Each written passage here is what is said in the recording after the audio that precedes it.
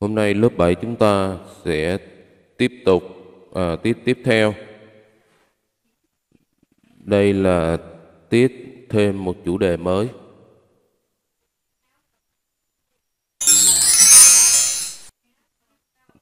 Chủ đề về thiên nhiên.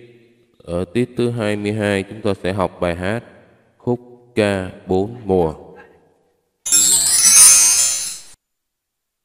Bây giờ phần 1 La Mã chúng ta sẽ học bài hát khúc ca bốn mùa. Trước tiên chúng ta sẽ tìm hiểu về bài hát này và nhất là tên tác giả Nguyễn Hải. Vài nét về tác giả Nhạc sĩ Nguyễn Hải tên thật là Nguyễn Văn Hải, ông sinh ngày 15 tháng 1 năm 1958 ở Quảng Bình. Một số tác phẩm tiêu biểu của ông như Từng hạt mưa ru, Suối nguồn yêu thương, Lời ru của phố, vân vân. Chúng ta sẽ cùng tìm hiểu bài hát. Bài hát được viết ở nhịp 38. Nhịp 38 có nghĩa là mỗi ô nhịp có 3 phát và mỗi phát là một hình móc đơn. À, mỗi ô nhịp, thầy nhắc lại, mỗi ô nhịp có 3 phát và mỗi phát là một hình móc đơn. Ô nhịp đầu tiên là ô nhịp lấy đà, đây. Ô nhịp này chỉ có một móc đơn là ô nhịp thiếu và nằm ở đầu bài hát cho nên người ta gọi là nhịp lấy đà. Chia đoạn thì bài hát này mình sẽ có hai đoạn. Đoạn 1 từ đầu cho tới thêm xanh. Thì ở đoạn 1 chúng ta có hai câu. Hạt nắng, hạt nắng cho mẹ ra đồng, hạt mưa, hạt mưa cho cây lúa chỗ bông. Câu 2 từ hạt nắng cho tới thêm xanh. Ở đoạn 2 Khi trời đổ nắng có mưa về dịu là khi trời đầy mưa có nắng về sưởi ấm bốn mùa có nắng và có mưa bốn mùa cây xanh và cây lớn, bốn mùa có nắng và có mưa, bốn mùa nhịp đời mãi sinh sôi như vậy đoạn 2 chúng ta sẽ có ba câu câu 1 khi trời đổ nắng cho tới, có nắng về sưởi ấm câu 2 bốn mùa có nắng và có mưa cho tới, cây xanh và cây lớn. Đoạn 3 bốn mùa cho tới, nhịp đời mãi sinh sôi. Bây giờ chúng ta sẽ cùng nghe lại, nghe cái bài hát khúc ca bốn mùa này nha.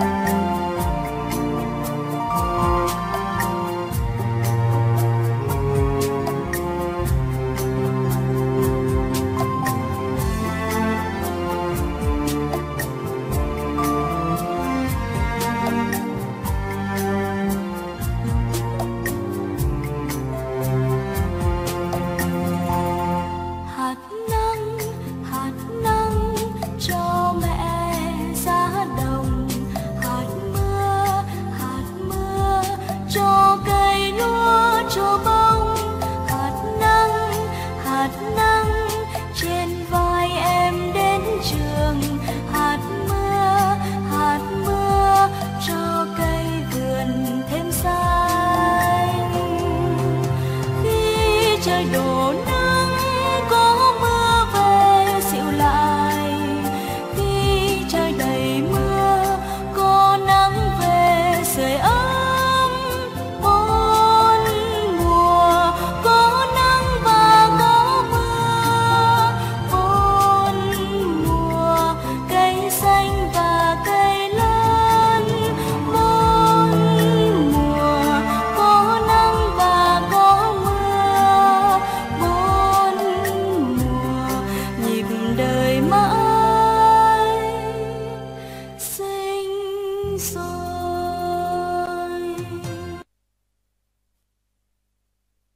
Chúng ta vừa mới ờ, nghe xong bài hát khúc ca bốn mùa, bây giờ mình sẽ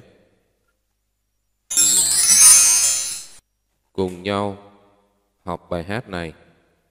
Bài hát khúc ca bốn mùa với nội dung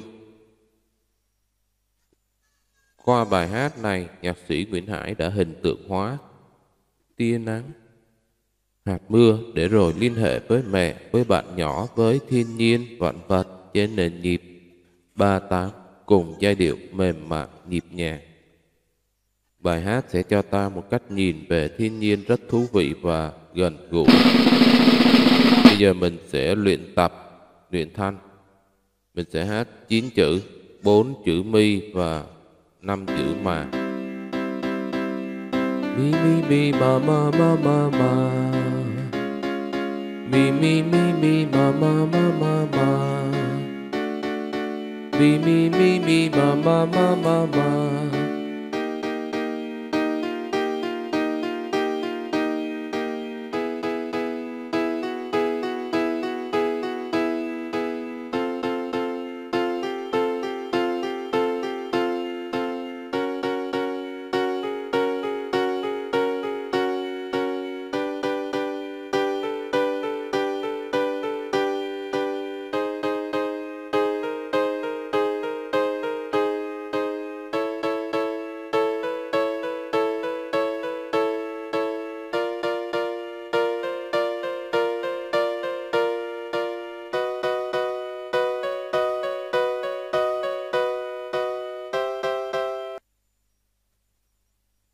Rồi, như vậy chúng ta vừa mới luyện xong thân xong. Tiếp tục. Chúng ta sẽ tập hát theo từng câu và ráp lại. Bài hát chúng ta có hai đoạn nha. Đoạn 1 chúng ta sẽ có hai câu. Câu 1 của đoạn 1. Từ hạt nắng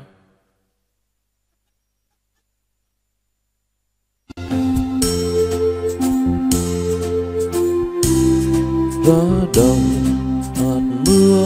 hạt mưa cho cây lúa cho bông. À, hạt nắng hạt nắng cho mẹ. Chúng ta cùng nhau tập nha hai ba. Hạt nắng hạt nắng cho mẹ ra đồng.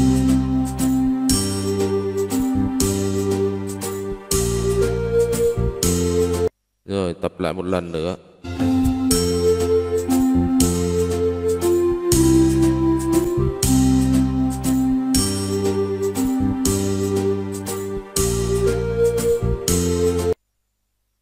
tiếp tục. Câu 2.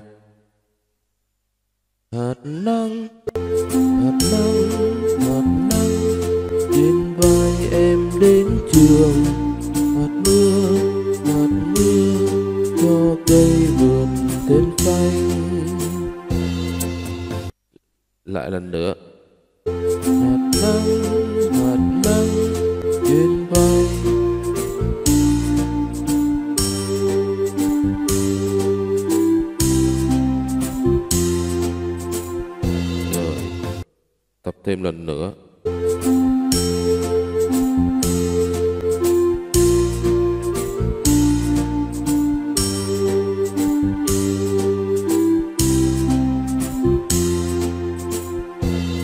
Giờ chúng ta sẽ hát ráp hai câu lại thành đoạn 1 cho thầy.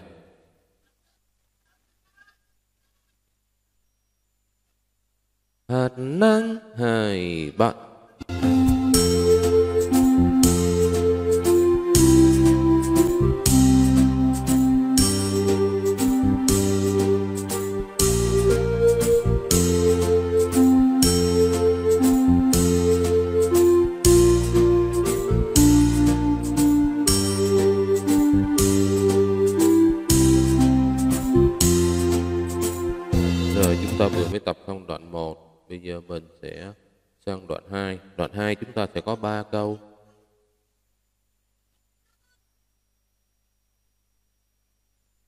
Bây giờ là câu 1. Khi trời đổ nắng, trời đổ nắng, có mưa về dịu lại.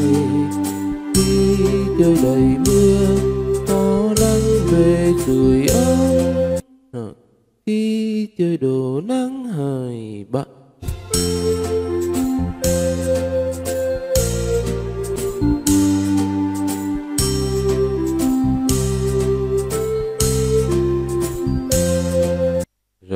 thêm lần nữa. Khi hai ba.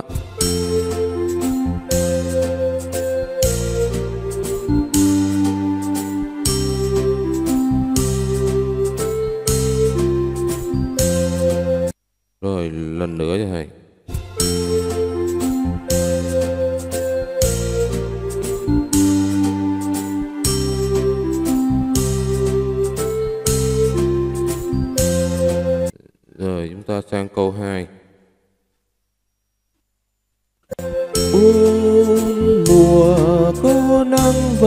Có mưa Bốn mùa cây xanh và cây lớn Bốn mùa có nắng hai bạn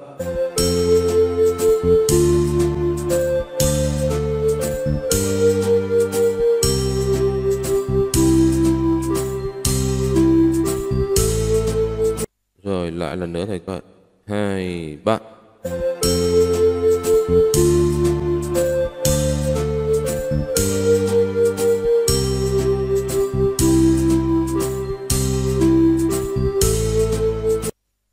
Lại lần nữa.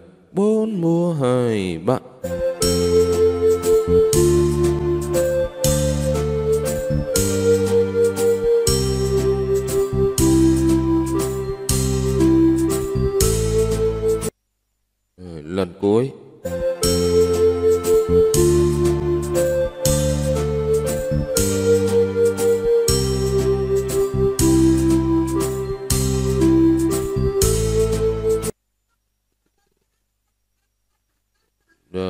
Câu 3, câu cuối cùng. Bốn mùa có nắng và có mưa. Bốn mùa trời mãi xinh tươi. À, Câu này chúng ta chú ý. Chúng ta xuống thấp. À, Xuống thấp hai chữ bốn mùa cuối cùng. Bốn mùa có nắng và có mưa Bốn mùa nhịp đời mãi sinh sôi hai bạn.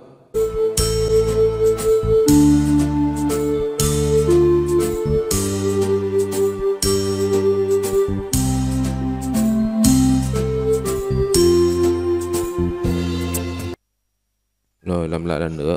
Hai ba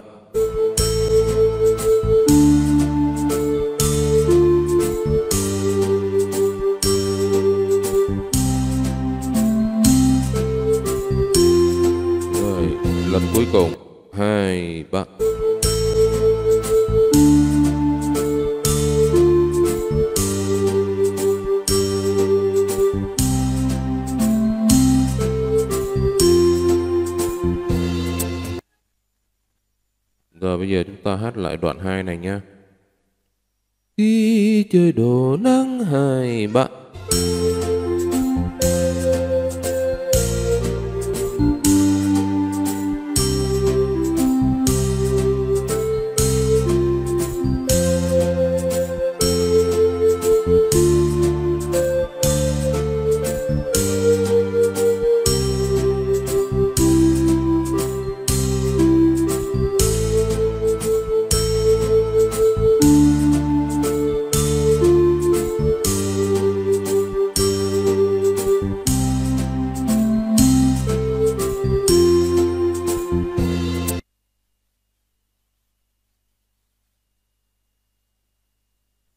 như vậy, bây giờ chúng ta sẽ cùng ráp lại hai đoạn này để tạo thành một bài hát cuối cùng cho thầy.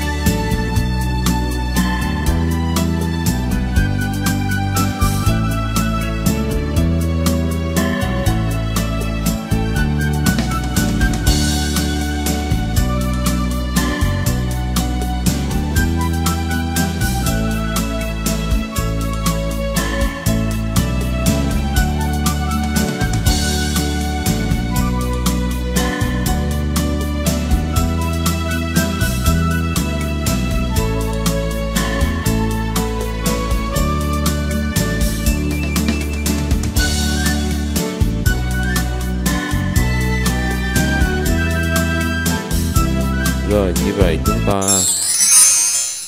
vừa mới hát tập hát xong bài hát khúc ca bốn mùa. Về nhà chúng ta sẽ hát thuộc lòng bài hát khúc ca bốn mùa kết hợp với vài động tác minh họa nhé.